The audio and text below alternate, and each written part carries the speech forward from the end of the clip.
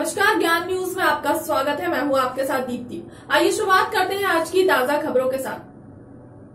अकोड़ा के शासकीय महाविद्यालय कॉलेज में चल रहे सात दिन से राष्ट्रीय युवा योजना के शिविर का गुरुवार को समापन कॉलेज में किया गया कार्यक्रम में क्षेत्रीय विधायक संजीव सिंह, संजू कुशवाहा ने एनएसएस के छात्र छात्राओं को शील्ड एवं प्रमाण पत्र देकर सम्मानित किया। वहीं इसी दौरान विधायक ने कहा, इंदिरा गांधी चौराहे से लेकर सुभाष चंद्र चौराहे तक जो भिंड की लाइफ लाइन है उसके बारे में बताया। वह तेज़ी से चल रहा है और जिला अस्पताल पहले तीन सौ बेड का था, जिसे चार सौ बेड का करा दिया है। साथ ही अकोड़ा शासकीय हायर सेकेंडरी स्कूल के बगल से डरा जर्जर फ़ील्ड उसके बारे में गाँव के युवा कर रहे हैं। यहाँ पर बनवा दो फ़ील्ड, इसके लिए नप सीएमओ राजभान सिंह भदौरिया को आदेश दिए। जल्द सफ़ाई कर युवाओं को खेलने के लिए बनवाए ग्राउंड और शासकीय हायर सेकेंडरी स्कूल। प्राचार्य एस के गौतम ने कहा, विद्यालय जो स्कूल में एक वाटर कूलर की व्यवस्था न होने के कारण बच्चे गर्मियों में पानी पीने के लिए परेशान होते हैं इसी दौरान विधायक जी ने जल स्कूल में एवं कॉलेज में भी वाटर कूलर की व्यवस्था। वहीं इस दौरान कार्यक्रम में सीएमओ राजभान सिंह भदौरिया, कॉलेज प्राचार्य डॉक्टर डी एस तोमर, अध्यक्ष संगीता सुदीप यादव, शासकीय हायर सेकेंडरी स्कूल प्राचार्य S K Gautam Munnalal Yadav, Tilak Singh Yadav, Vinay Suti, Padam Yadav, Vidya master Yadav कल सूती, राजू यादव, संजय यादव एवं स्कूली छात्र छात्रा स्टाफ मौजूद रहा।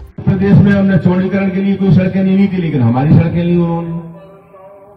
पूरे भिंड में अगर आप चले जाएँगे, शहर में चारों तरफ़ आपको काम होता हुआ दिखाई देगा। उसका हालाँकि अब कुछ लोग आजकल क्या है जो सोशल मीडिया चल गया है व्हाट्सएप पे फेसबुक पे। वो इसी पे विकास करना चाहते हैं इसी पे विकास चाहते हैं।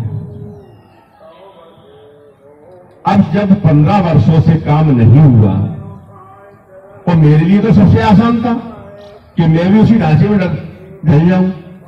उन्होंने नहीं किया, हमको भी नहीं करना। आराम किसको पसंद नहीं है? हमको भी कुछ नहीं करना था। लेकिन मैंने आपसे वादा किया था चुनाव में। वादा ये किया था कि अगर आपने मुझे मौका दिया तो भिंड की तस्वीर बदलेंगे। तो तस्वीर जब बदलोगे तो उसमें थोड़ा समय भी लगेगा, क्योंकि ढांचा बहुत पुराना है, बिगड़ा हुआ है, पंद्रह साल की काई चढ़ी हुई है। अब तक की खबरों में फ़िलहाल इतना ही। आगे की खबरों के लिए बने रहे ज्ञान न्यूज़ के साथ।